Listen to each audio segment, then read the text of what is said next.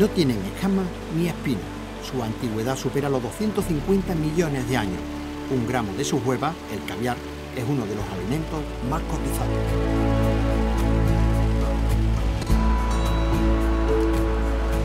Gracias a explotaciones como esta de Río Frío pueden sobrevivir a la extinción y gracias a ello estos jóvenes de la localidad granadina de Loja han encontrado trabajo en el territorio como especialistas piscicultores.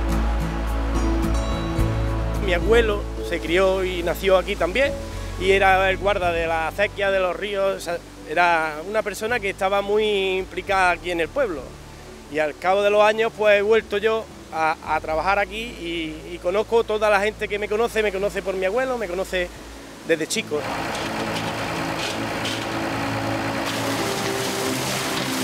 Y llevaré ya 10 años. ¿Y antes qué hacía?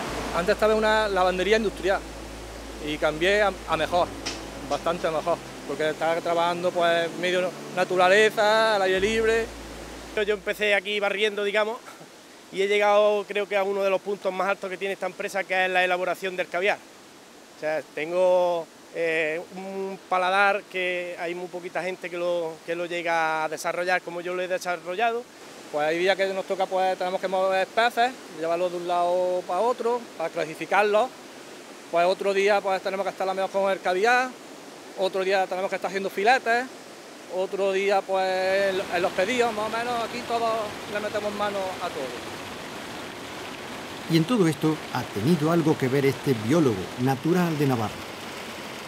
Estamos 18 trabajadores, eh, la mayor parte de aquí de Loja o su entorno. Algunos ya no viven en Loja, otros vienen de Granada, pero la, inmensa mayoría del entorno de Loja.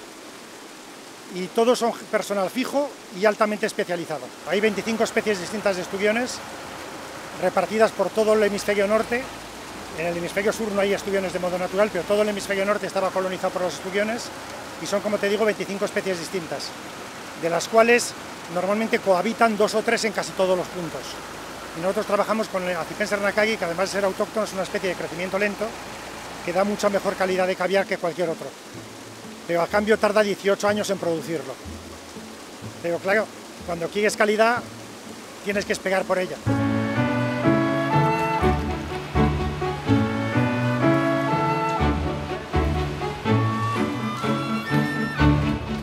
El seguimiento de cada ejemplar se realiza en esta sala. Se trata de determinar el sexo y en este caso, una hembra con 20 años, observar mediante una ecografía el estado de la hueva, el caviar, que puede alcanzar al menos el 20% de su peso.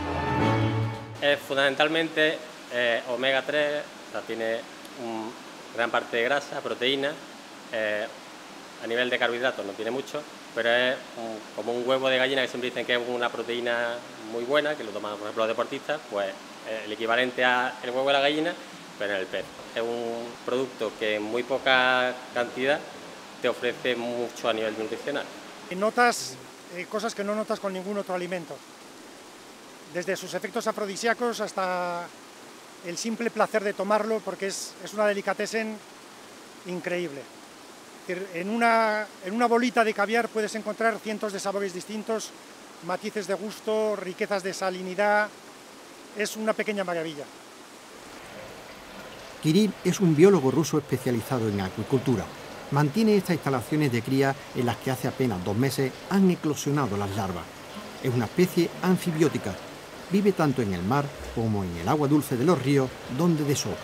Con estorión, sus estadios eh, iniciales viven en mar eh, dulce, en ríos. Eh, mm, pero adultos viven en mar y toda su vida, salvo periodos de, reproducción cuando ellos vuelven al río para desovar y reproducirse ahí. Los estudiones en todo el mundo están prácticamente extinguidos en el medio libre. La gente de hecho a veces compra caviar de estudión silvestre, es falso, no existe estudión silvestre y si algún día vamos a lograr recuperar los estudiones será gracias al trabajo de la acuicultura. La acuicultura es la única posibilidad que tienen los estudiones de ser recuperados. En la actualidad hay un proyecto LIFE de recuperación en el delta del Ebro. Y todo el proceso comienza con el cultivo de artemia. Desde el inicio Estos peces comen eh, unos cangrejos que nosotros también incubamos, preparamos, eh, se llama Artemia salina, incubamos de sus huevos, una técnica bastante sencilla. Es una comida viva y luego juntamos un pienso artificial. Y la restauración ambiental. Hace solo unos meses que han entrado en funcionamiento estos lagos como filtro verde, con más de dos metros de profundidad. Para nosotros es fundamental el bienestar animal, el bienestar del entorno y la recuperación al máximo posible de la fauna en general.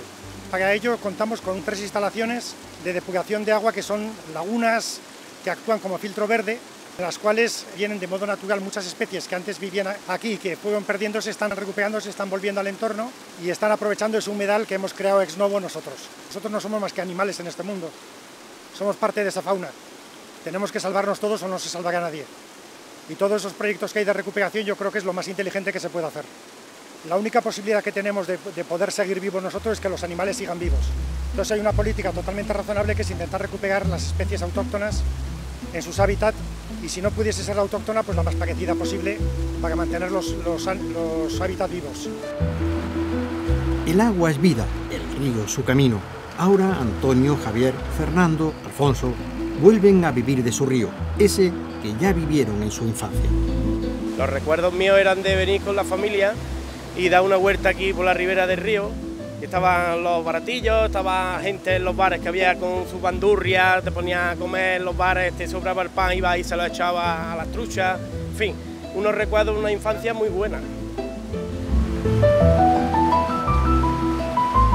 Y este río, los ríos, son ese lugar en el que el ser humano se reencuentra con la vida.